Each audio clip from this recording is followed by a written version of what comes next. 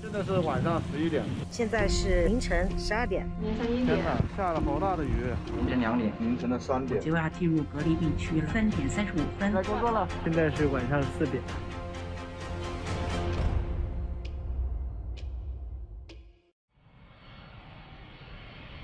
现在是凌晨零零四分，本人叫严建峰，在今天晚上这个飞机也有六百，有十二吨货，保障物资时候我们尽量的轻拿轻放，保障不会有破损的。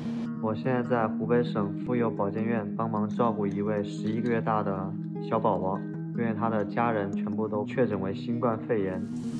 现在是零点三十分，儿子是五岁半，到现在有二十多天了没有看到我了。我们穿这身衣服，干的就是这个事儿。我叫李梦婷，是便利店的一名店员，来的都是熟顾客，他们也会在买单的时候嘱咐我们几句，说你们接触的人比较多，也要保护好自己啊。感觉不只是我们这盏灯在温暖武汉，也感觉武汉的人在温暖我们。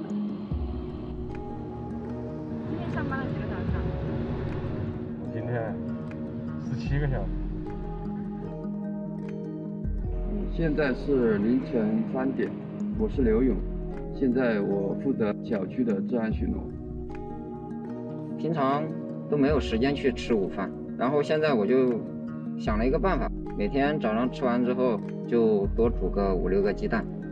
前两天接到了一个订单，是给江苏的医疗团队配送的吧，当时我是觉得特别有成就感。好，三十福星酱。你是肺炎，然后现在高血压，呼吸困难。好好好，行，那您赶紧联系过来，因为这个病人年纪大了，我们必须要有人跟车的啊。嗯，好，再见。让我印象最深刻的，可能还是我接到的一个警，大概可能有六七十岁的一一位婆婆吧，自己还是一个残疾人士。因为那段时间急救资源有限，过了一会儿，我说这个车子我已经给你安排了。当时那个婆婆。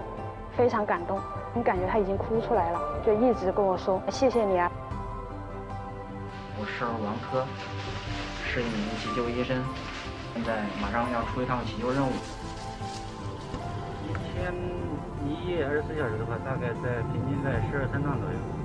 每一次回执行完任务回去之后，都必须要消毒。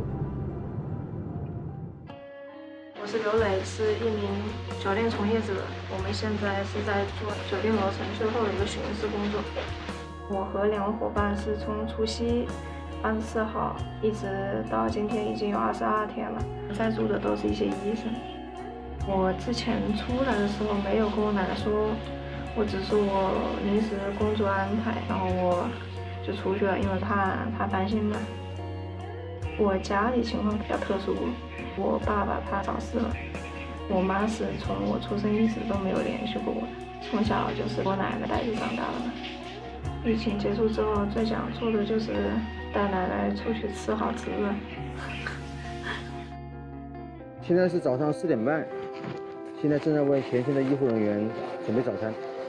我本人自己也当过五年兵，反正就是总觉得要做点什么事。现在我正前往民族路去消冰撒盐工作。上午四点钟开始上的班，一直上到现在，每天比平时的话要多上四个多小时的班。我是每天送武汉武山的一名配送员。我当时走的时候，我女儿肯定是不希望自己的爸爸出门，在外面有时候跟我发视频，问爸爸吃饭了没有，注意身体。